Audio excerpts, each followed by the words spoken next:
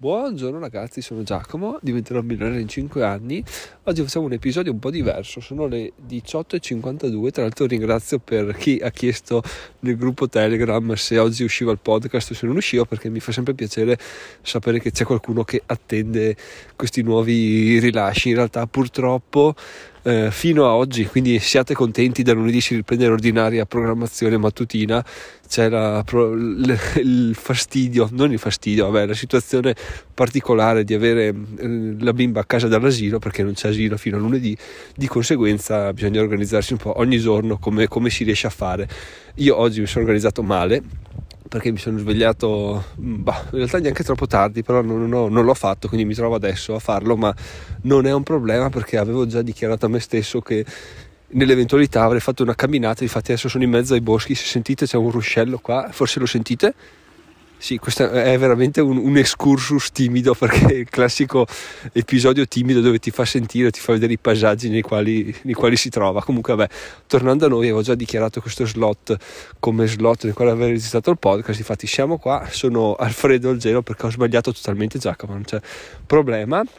E in realtà sono stato più bravo del previsto perché non mi ricordavo neanche che oggi uh, ho lavorato, ho scritto un articolo oggi e mentre lo scrivevo ho detto beh sì dai oggi parlo di questo nel podcast e sono andato a creare già l'episodio ho messo anche il titolo quindi in realtà so già di cosa parlare oggi però prima voglio dirvi una cosa interessante perché? Perché sono adesso sono in un sentiero eh, totalmente buio cioè, cioè è illuminato solo perché c'è la luna piena adesso quindi si vede ma se no sarebbe completamente buio.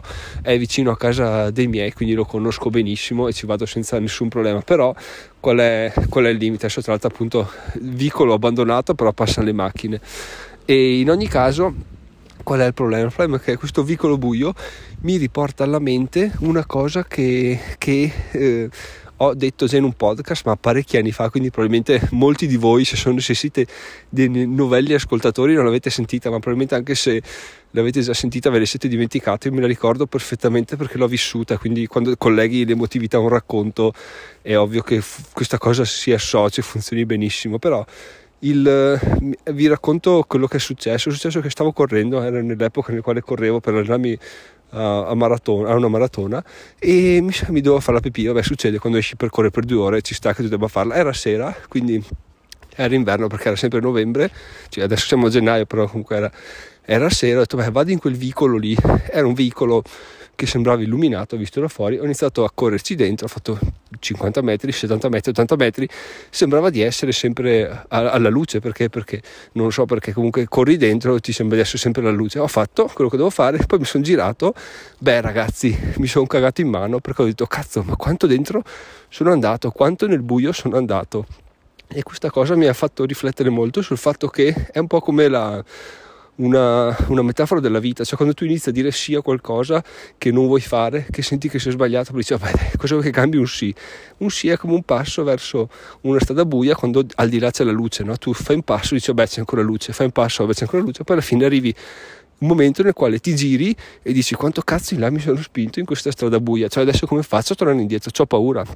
Quindi quello che voglio dire in questa riflessione è che ragazzi se c'è qualcosa di di, di, di, pauroso che sentite sbagliato nella vostra vita, ma dite, vabbè, cosa vuoi che cambi un sì, lo dico così, non vi rompo i coglioni, no, cioè non, non fatelo perché è un passo verso una strada sbagliatissima che poi sì, un sì, un altro sì, un altro sì ancora, vi rendete conto che avete fatto una cagata dietro l'altra e c'è il classico punto in cui vi chiedete ma come cazzo ha fatto ad arrivare qui? Perché?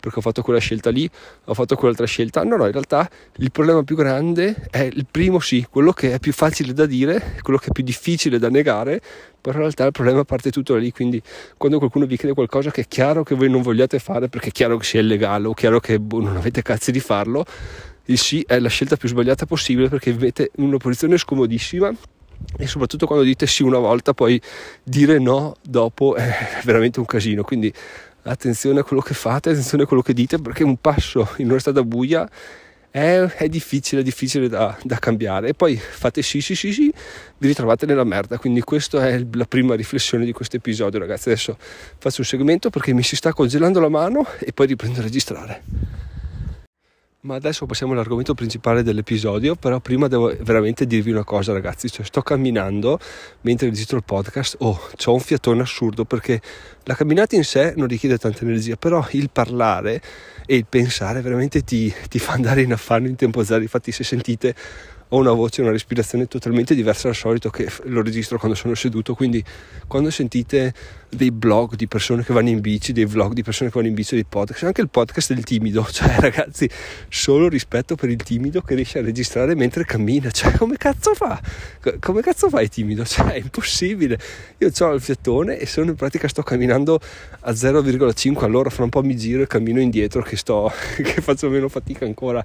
Veramente assurda come cosa qua perché tu li ascolti e dici ah, che cazzo fai? Cioè, che, che, che, fisico c'hai per non riuscire a parlare e camminare? Invece è un, un, casino, è un casino incredibile. Ma insomma, detto questo, andiamo all'argomento principale, quindi le tue priorità perché? Perché ieri sto, sto continuando a leggere la, il potere del cervello quantico.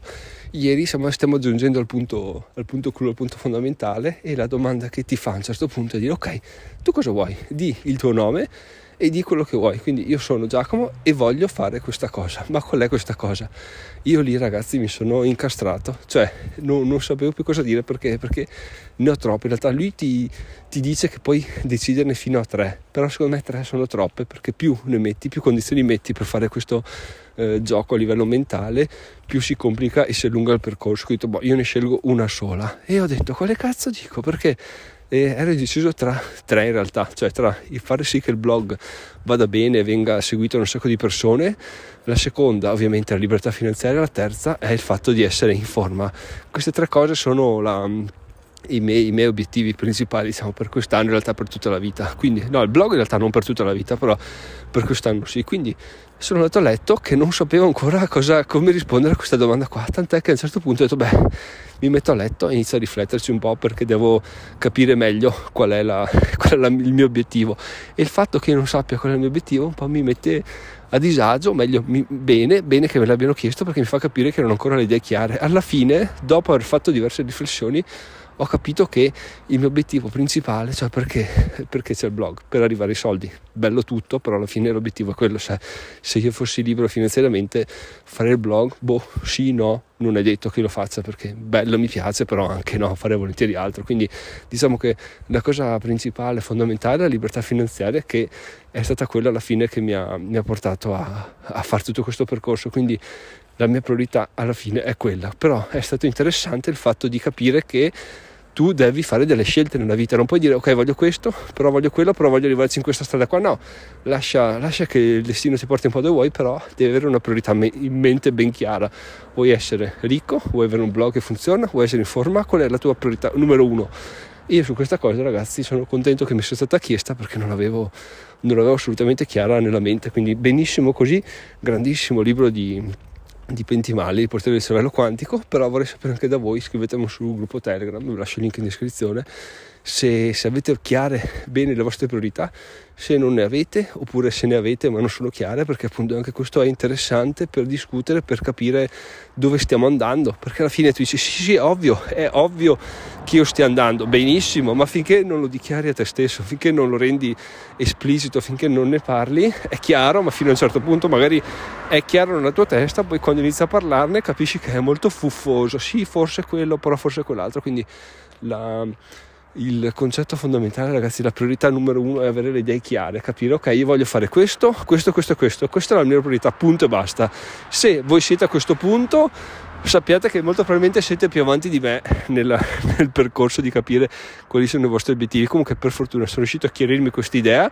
Adesso inizia il mio percorso verso l'utilizzo del cervello quantico, però è stato interessante vedere che in realtà dopo 5 anni, dopo 5 fottutissimi anni ancora non avevo le idee chiare e ieri sera sono stato una nottata a chiedermi ma io cosa voglio veramente? Quindi adesso la domanda che vi rilancio è ma voi cosa volete veramente?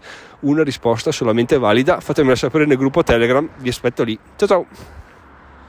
Eccomi qua ragazzi, sono tornato seduto, quindi sono adesso con tutto il fiato a mia disposizione giusto per fare due riflessioni finali, ovvero chi mi segue da più di due anni sicuramente si ricorderà gli episodi di dicembre 2020, dicembre 2020 dove lavoravo come una merda e facevo, rilasciavo gli episodi del podcast la sera erano non tutti eccezionali, penso. Quindi ecco, se vi ricordate in che condizioni ero, fatemelo sapere sempre sul gruppo Telegram perché mi fa morire da ridere a ripensarci ancora dei ricordi collegati a quando registravo determinati episodi in che punto della strada di ritorno verso casa mi trovavo. Quindi per dirvi quanto è forte l'associazione emozione azione. Bello così. Altra cosa, ragazzi, interessante, vi dico che ho utilizzato Bitter e Fill per comprare un buono Amazon da 250 euro, quindi ho, mh, mm, ho fatto tutto, cioè mi sono registrato, non serve il KYC fino a 10.000 euro al giorno, non serve fare il KYC quindi fantastico, mi sono registrato solo con la mail, ho fatto questa cosa qua, tra l'altro io ho il ledger, quindi ho toccato il ledger, ho mandato i fondi eccetera, ho comprato un buono Amazon da 250 euro, in 10 minuti avevo fatto tutto, eh, inserito e via andare, quindi veramente una figata incredibile. Se volete sapere come funziona, vi lascio il link in descrizione all'articolo che ho scritto, passo passo su come fare per farlo. C'è anche un codice referral che onestamente a voi non dà un cazzo e a me dà 5 dollari se voi ne spendete 50. Quindi se volete registrarvi e fare gli affari vostri andate su Bitter e File e vi registrate, se no trovate sull'articolo il mio codice referral e potete contribuire in piccola parte al mio progetto. Detto questo ragazzi ci sentiamo domani, no, ci sentiamo lunedì finalmente la mattina. Ciao ciao!